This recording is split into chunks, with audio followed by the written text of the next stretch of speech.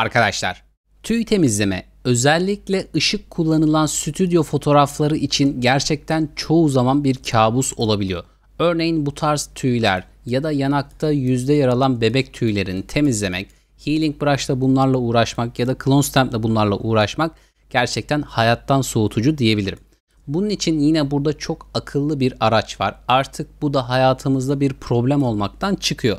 Tek yapmanız gereken şey arkadaşlar örneğin şuraya yaklaşarak göstereyim. Bakın buradaki tüyleri tek tek almak imkansız. Tek yapılması gereken şey tüy temizlemeyi çalıştırmadan önce hemen buradaki Lassa Tool ile tüy temizleme yapacak alanı şöyle dıştan kabaca bir seçmek. Seçim gerçekleştirdikten sonra tüy temizleme butonuna tıklıyorum. Açılan pencereyi eğer bir daha görmek istemiyorsam bilgilendirme ekranı bunu bir daha gösterme diyorum ve devam et diyorum. Arkadaşlar burada threshold'u sıfırladım. Radius değerini artırdığımda o alanı dust and scratch yapacak şekilde büyütüyor.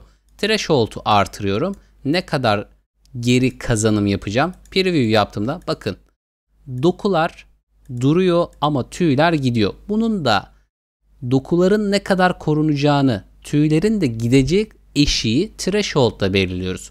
Radius yumuşatma değeri, threshold'da sınır değeri.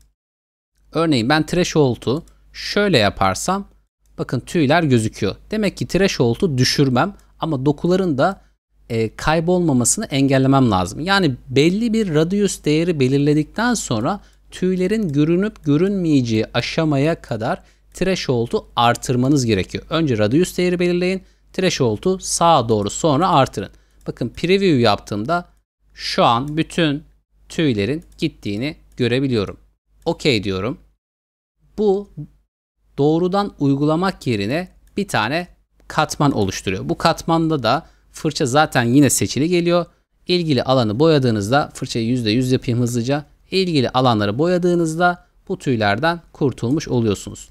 Yani o problem olabilecek bizim saatlerimizi alan şu şey çok basit bir şekilde çözülüyor. Bakın before after yaptım. Hiçbir şekilde belli olmuyor. Hatta yine bunu daha düzgün yapmak için arkadaşlar gren atarım. Gren'i de aşağıya bağlarım. Bu şekilde bunu çözelim. Gren'in şiddeti fazla geldiyse opasitesini değiştirebilirim. Eğer noise fazlaysa noise'u, blur'u değiştirebilirim. Yaptığımız her şeyi editleyebiliyoruz arkadaşlar. Bu da bizim için hayati bir öneme sahip. Hadi diyelim ki burası kolay. Bakın burada çok daha kompleks bir alan var. Burayı da evet sıfıra sıfır yok edemeyiz ama dikkat çekici halden uzaklaştırabiliriz. Zaten amacımız da bu. Tekrar seçim aracına tıkladım. Lasso Tool'la şu bölgeyi şöyle kabaca seçtim ve tüy temizlemeye tıklıyorum. Tekrar burada bir radius değeri belirleyeceğim. Threshold'u düşürüyorum. Düşürdüm. Şu an preview yaptığımda gayet güzel gözüküyor. OK dedim. Ve tüy temizleme aracı yine bana fırçayı otomatik olarak seçti. Ben burayı ilgili alanları yumuşak bir şekilde boyuyorum. Bakıyorum before after yaptığımda bakın oradaki tüylerden yoğun, kaba, işlemesi çok zor, kaybetmesi çok zor alandan basit bir şekilde kurtulduk. Buraya gren eklersem yine gren ekledim. Clipping mask yaptım ve olay bitti arkadaşlar. Şöyle uzaklaşıyorum. Oradan da kurtuldum. Tekrar geleyim. Şurada da çok yoğun bir saç ve tüy var. Tekrar burayı seçtim. Şurayı kabaca seçiyorum. Dıştan dışa. Tüy temizlemeye tıkladım. Bunda maskeleme olduğu için arkadaşlar seçimimizi daha büyük tutabiliriz. Problem yok. Şöyle geldim. Radius'u artırıyorum. Ve threshold'u yavaş yavaş sıfırladım. Tekrar artırıyorum. Şöyle threshold. Bunda biraz daha düşük olursa daha iyi olacak gibi.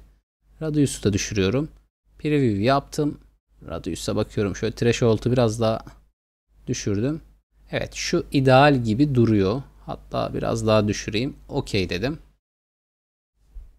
Bu pencereyi bir daha göstermesini istemiyorsam onayla ve kapat dedim. Burayı tekrar boyuyorum.